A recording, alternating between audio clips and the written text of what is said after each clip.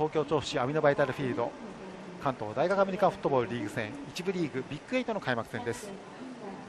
拓殖大学ラトルスネークス対横浜国立大学マスティフスの試合の模様フットボール TV でお送りをいたします。本日の実況担当関東学生アメリカンフットボール連盟放送委員長の松川達也そして解説には元日本代表ランニングバック高田洋一さんにお越しいただいております。高田さん本日もよろしくお願いいたします。はいよろしくお願いいたします。えーまあ、先週開幕しました1次リーグトップ8に続きまして、はい、今日はビッグ8の開幕戦ということで、はい、非常に暑い日になりましたね。そう今日はちょっと暑いですね、はい、先週よりもかなり暑いような感じがしますよね、そうですね。まあ、この暑さがどう試合に影響しますか、オレンジのジャージ、拓殖大学、白のジャージが横浜国立大学です。フィールド中央、試合開始前のセレモニーが行われているところ、拓殖大学からは主将10番、川口大輝、副将42番、竹村修平、同じく副将5番宮江恭平の3選手対します白のジャージ横浜国立大からは主将25番原岡良樹副将43番加藤弘樹。同じく副将同じく副将56失礼66番ですね。佐藤秀明そして同じく副将27番草野祐介の4選手が出てきております。これよりコイントツアーが行われまして前半最初の攻撃権と両チームの陣地が決定されます。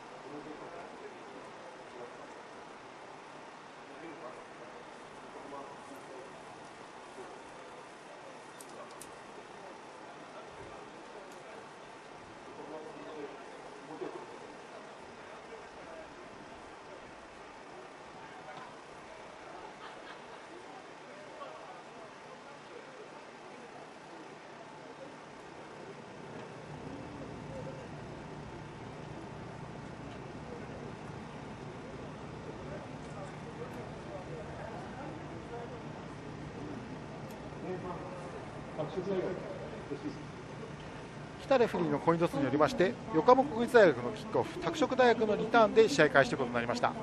1部リーグビッグ8の開幕戦。拓殖大学ラトルスネークス対横浜国立大学マスティフスの試合。まもなくキックオフです。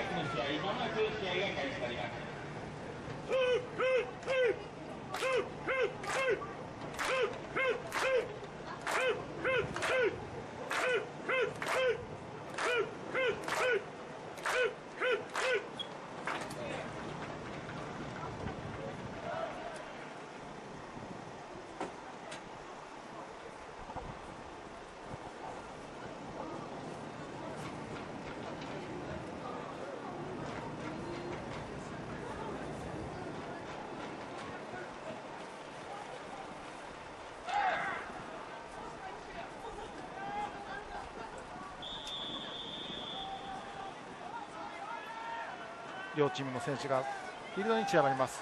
白のジャージ横浜国立大学のキックオフ。13番の岩崎智郎ボールをセットしました。横浜国立大学のキックオフで試合開始です。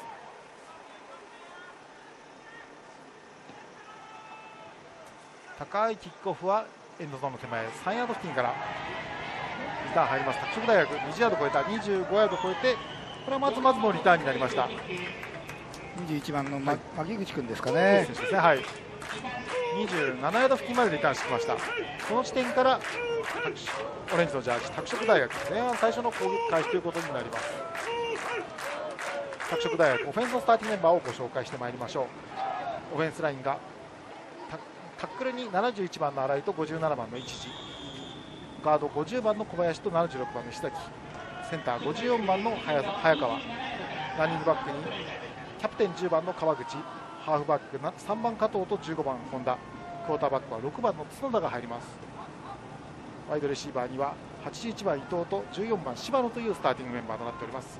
白のジャージオレンジのジャージ拓殖大学ファースト判定まずは真ん中のランプレーから入ってきました。1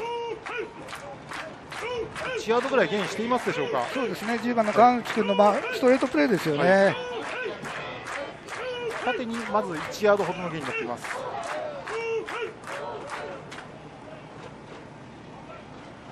拓殖大学はこう昨年までのこうスターティングメンバーがみんなみんなこう卒業で抜けまして9番川西選手クォーターバックの川西であるとかこうタイトンドの八木であるとかといった選手が大きくメンバーが入れ替わって今シーズンを迎えています。6番角田がフォーメーション構えます。セカンダー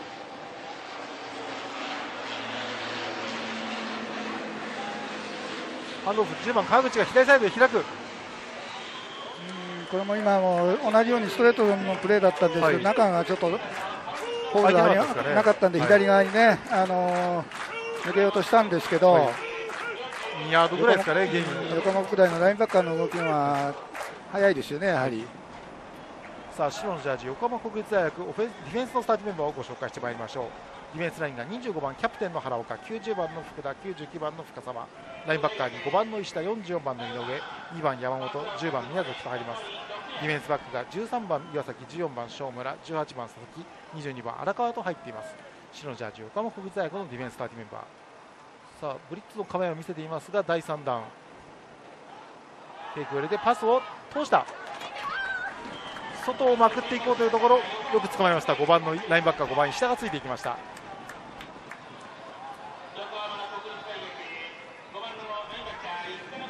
っと抜ききれなかったですねそうですね、はい。今、パスはキャッチできましたけど、はい。ファーストに至ってないので、ここではもうパントになりますそうですね。ねこれで最初の攻撃シリーズ。第4ダウンを迎えましてパントということになります。三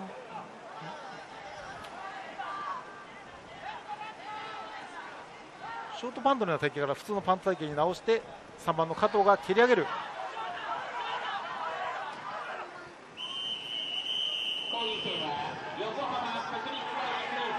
拓殖大学。最初の攻撃シリーズはパントに終わりました。攻撃権が横浜国立大学へ移ります。拓殖大学対横浜国立大学一部リーグビッグゲートの開幕戦の模様フットボール TV でお送りしております。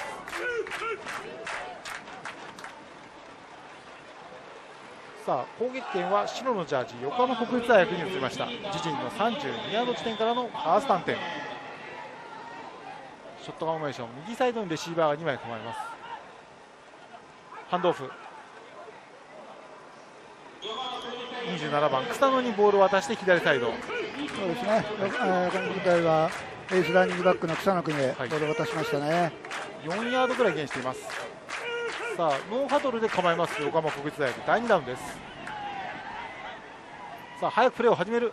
スイングのパス。開いて右サイドを抜けてくる。敵陣入ります。40ヤード30ヤード。なんとか後ろが追いついた横浜国立大学43番フルバックの加藤君ですね。非常に小柄な選手なんですけど、かけら早かったですね。そうですね、今、ボールパスをキャッチしてから早かったですよね。そしてノーハドルで構えます。敵陣26ヤード付近から。今度は草野が縦へ走る。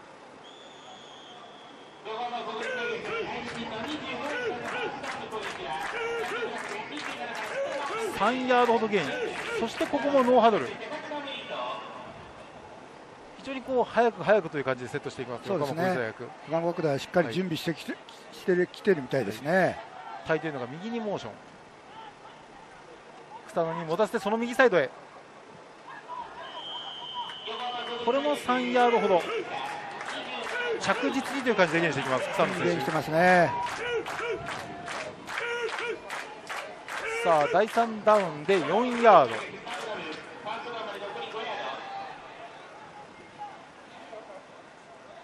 アイフォーメーション。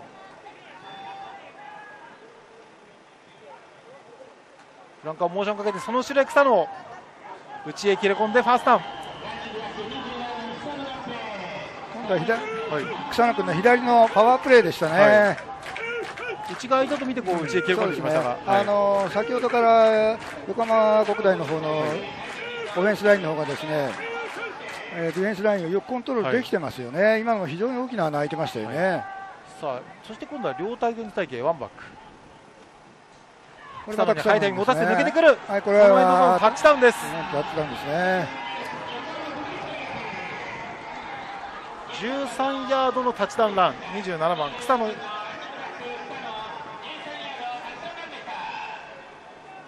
自陣の32ヤードから非常に鮮やかなシリーズでしたね。そうですね、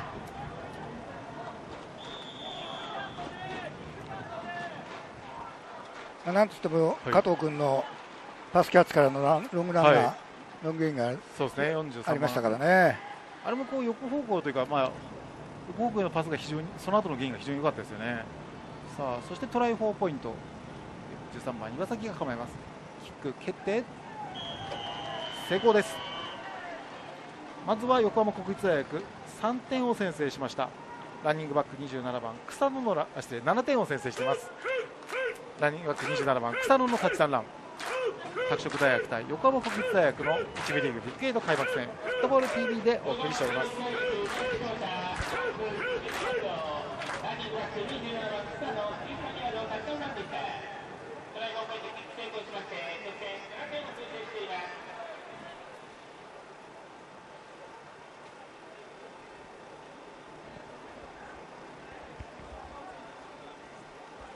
両チーム最初の攻撃を終えまして横浜国立大学が7点を先制。得点しました。横浜国立大学のキックオフで試合が再開されます。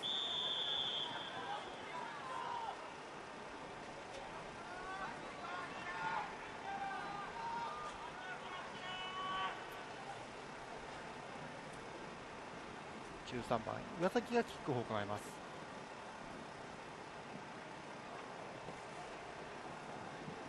高く蹴り上げて6ヤード付近から。右サイド狭いところ抜けてくる。30ヤード超えます。21番牧口のリターンでした。拓殖大学2回目の攻撃シリーズは自陣の32ヤード地点からということになります。牧口君、これではい。2回目のリターンなんですけど、はい。あの最初のリターンより少しまた横そうですね多く走りましたよね。先ほどより5ヤードぐらいですか。長い距離リターンしています。さあ2回目の攻撃シリーズ拓殖大学のファースト3点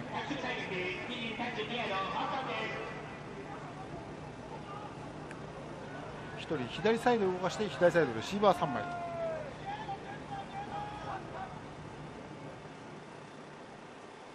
そうだからレシ守備を確認してから右サイドパス。81番伊藤君。ですね。はい。伊藤君のアウトのパス、はい。えーそうですね、ちょっと1ヤードぐらいファーストダウン更新までは足りないですか足りないね。わずかに残ってファ第2ダウンということになります。ただこう外へのパスうまく外して前へ出ました。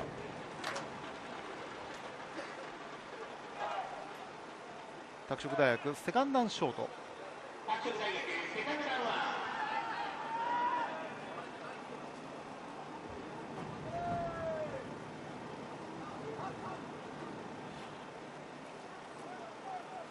大学非常にじっくり時間を使ってという感じのプレー。パスを。ラインバッカーの後ろ加藤選手に狙っていったパスは不成功でした。ちょっと抜けてることは抜けてたんですけどね、ちょっとボールが前に行きましたかね、今、リードボールというかこうレシーバー、そうですね。走っていくその先へ投げるパスだったんですが。加藤君も手出してたんですけど、はい。ちょっと手の先に当たった感じになりましたから片手ね。でこうなんとか触ることは触りましたかという感じになりましたさあ元の地点からの第3ダウンに変わります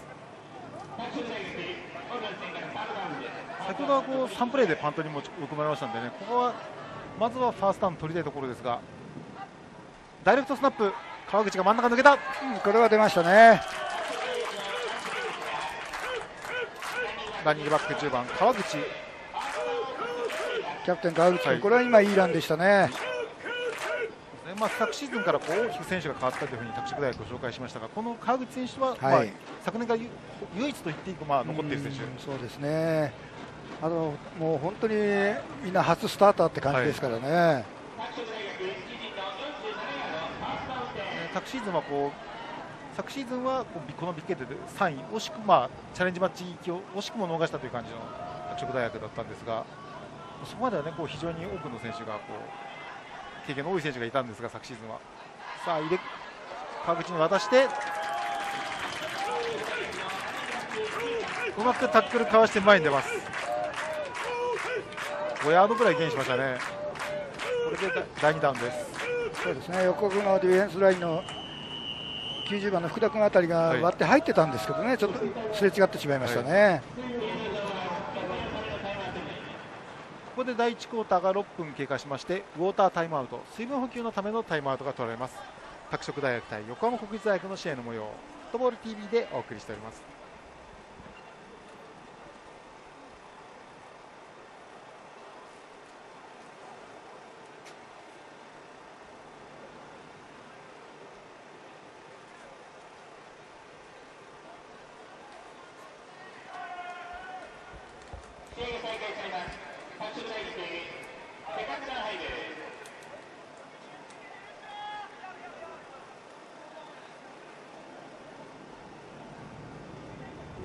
ータータイムアウトが明けまして試合が再開されます。拓殖大学第2ダウンで残り5ヤード。ボールは敵陣の48ヤード。レシーバーを1人左サイドへ動かして。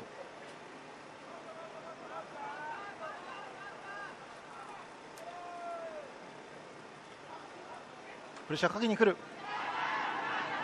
川口がこうあ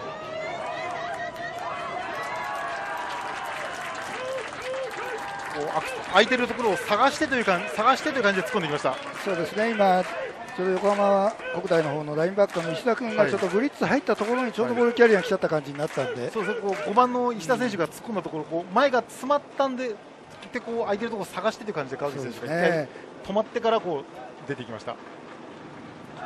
このプレーでファーストターン拓殖大学は敵陣の41ヤード地点ファーストターンを取っています左右にレシーバー2枚ずつ置いて。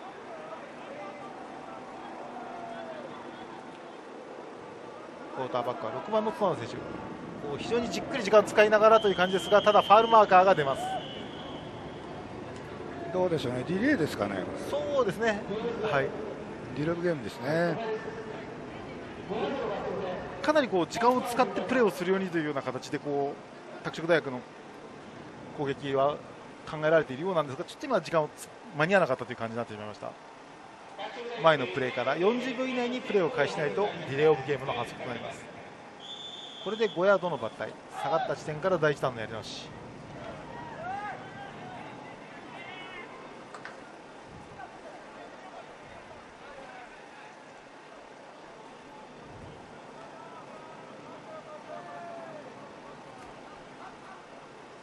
これもまたプレッシャーをかけに来るという横浜国立大学の守備陣ですが左サイドのオプション。6番の角田が自分で行きました。そうですね。左の角田君のはい。スピードオプションのプレーだったんですけどね、は今ちょっと開かなかキーキーったというかプしようか、はい。ピッチしようか迷いましたよちょっとちょっねと。迷った感じがありましたねそれでこう横浜国立大学の守備がうまく横に長左そうですね、横に流す。よう学が右左サイドでこ。うプレーを止めに行っていました。多少ゲインはしましたかという感じ。第2ダウンでファーストターンまで13ヤードほど。今度は右レシーバー3枚。真ん中行きます。クォーターバックを11番の田村選手に変えていました。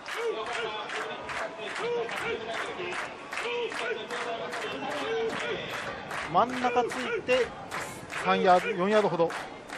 第3ダウン残り9ヤードというところでここでまた角田選手をフィールドに戻しました。そうですね、今じ出てきた11番は、田村選手、はい、田村君はあれかもしれないですね、ラン専用のクォーターバックかもしれないですね。そう。ですね。この角田選手6番の角田選手11番の田村選手どちらも2年生ということでまあこう同学年ですね。うまくこう使い分けてというのは中央大学の攻撃パターンの中にあるのかもしれません。ハンドオフェイクしてパスをちょっと加藤選手こう引きつけるところでボールを落としてしまいました。ただファールマークは出ています。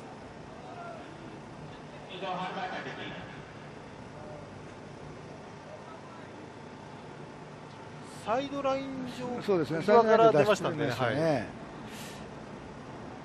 ヘッドオフサイドかなんかですかね、どうでしょう拓殖大学の。あ、もう視覚レシーバーダウンフィールドですか。加藤選手がこう大外のレシーバーではなかったということで加藤選手の外にいたレシーバーがおそらくスクリーメージラインに乗っていたということで無視覚レシーバーのダウンフィールドへの侵入の反則5ヤード抜体ですがパス失敗ですのでここは。プレーの結果を生かします横浜国立大学第4ダウンでパントということに変わります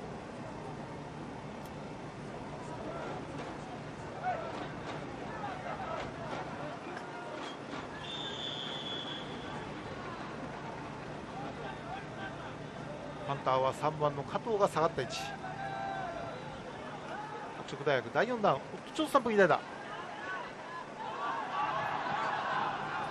蹴り上げたボールが相手のゴール際と転がっていきます。拓殖の選手が回り込んでゴールの手前ピチッとピタッと止まりました。いいパントになりましたね、拓殖大学第4ダウンの攻撃は3番加藤選手のパント。攻撃権は横浜国立大学へ移ります。さあ横浜国立大学2回目の攻撃シリーズはゴール前からということになります。かなり厳しい位置からの攻撃になりますが。さあ白のジャージ横浜国立大学オフェンスのスターティメンバーをご紹介してまいりましょう。オフェンスラインが右から71番のり66番の佐藤75番大河内60番川崎72番の新田。クォーターバックは12番の福岡。フルバックに43番の加藤テールバック27番の草野ワイドレシーバー7番ハブ26番柘植タイトエンドに4番野口と入っています。さあゴール前からのファーストターンはまずは真ん中へのランプレー。そうですね、加ボ藤ですかね。ールがもう、はゴール前1ヤードないですからね、ここでねちょっと何か何かありますと即相手の点ということになってしまいますので。フルバックの加藤君のストレートのプレーでしたね、まずは押し込んで1ヤードぐらいゲインしましたでしょうか。第2弾と変わります。セカンドシリーズはこうじっくりハドルを組みながらという感じの横浜国立大学ですが。さあアンバランス左サイドに人を集めました。そしてフルバックも動いてくる。その左サイドで草野が飛び越えた。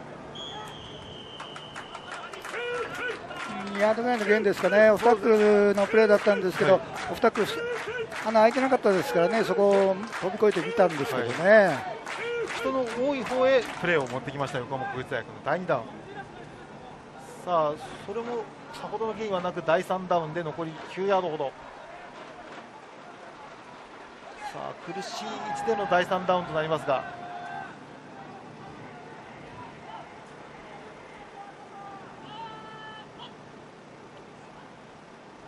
今度は左サイ右サイドでピッチ草野が外へ開こうとしますが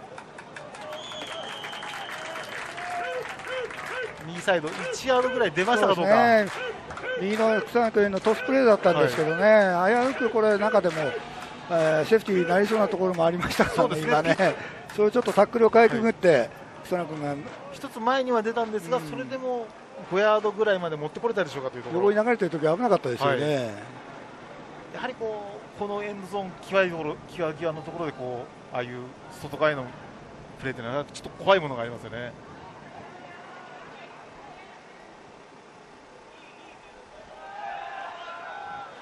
さあ第4ダウン13番岩崎選手がパンタの位置。パントを蹴ります。高いパント。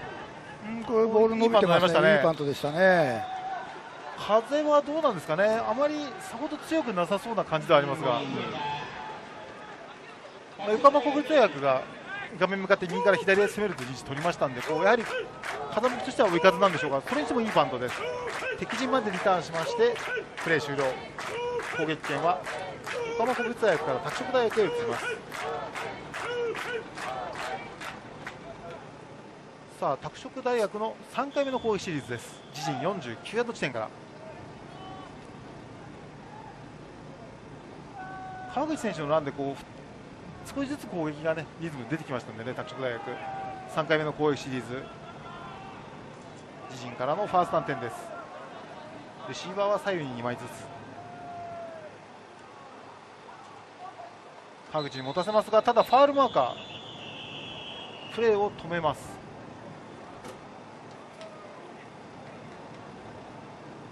オフェンス側のフォルスタートですかね。そうですね、はい。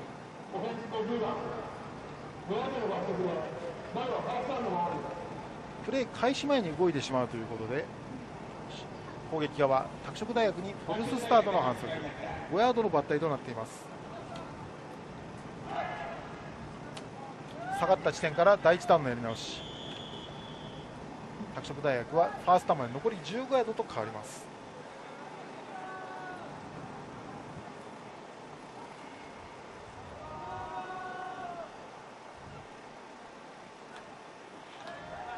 今の交代でちょっと時間なくなってますね、はい。そうですね。まあ8秒、ブレイクロックは残り5秒4秒と回っていきます。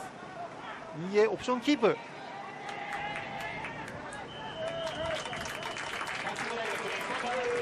角田選手が自分で持ち込みまして7ヤードほど。そうですね今は、はい。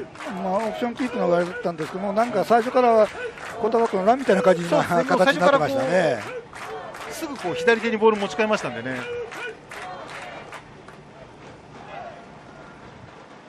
投げ渡すというよりはもう最初からもう自分で持っていくというような感じで、まあうん決めてたプレーかもしれないですね。まあ、川口選手が、ね、右サイド来て流れてましたんで動きとしてはオプションのような動きでしたが。さあ第2ダウン残り7ヤード。セカンはパスの構え。川口に渡す。真ん中押し込んでいってファーストダウン取りましたねそうですね。川口君のスイングのパスだったんですけど、これは川口君の走力を生かすためのプレーでしたね。横方向へのパスを投げてそこから川口選手が縦に上がるプレー、はい、ランアフターキャッチを狙ったプレーですよね。これでファーストダウン取りました拓殖大学。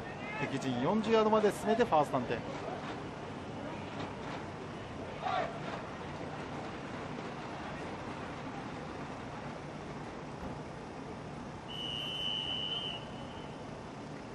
ここで長い笛が鳴ります。クォータータイム第1クォーターが終了です。第1クォーター最初の攻撃シリーズで横浜国立大学がタッチダウン7点を先制しています。拓殖大学対横浜国立大学一部リーグビッグエイトの開幕戦の模様をフットボール TV でお送りしております。